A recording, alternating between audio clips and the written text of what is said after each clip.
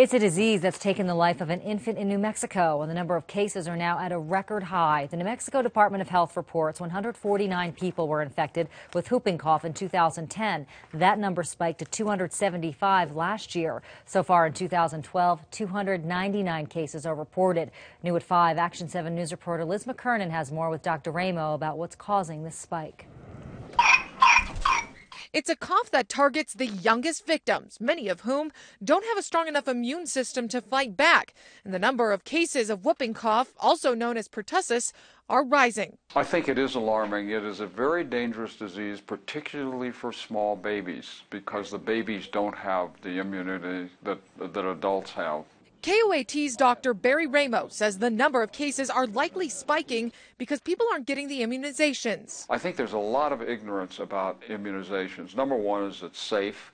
Number two is the immunization doesn't cause the disease that you're trying to protect against.